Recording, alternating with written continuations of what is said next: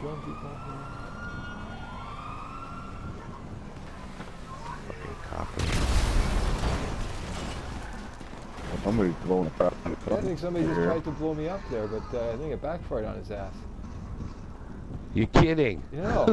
Who tried to blow you up? Young know. Savage? I don't know. Here, let me save that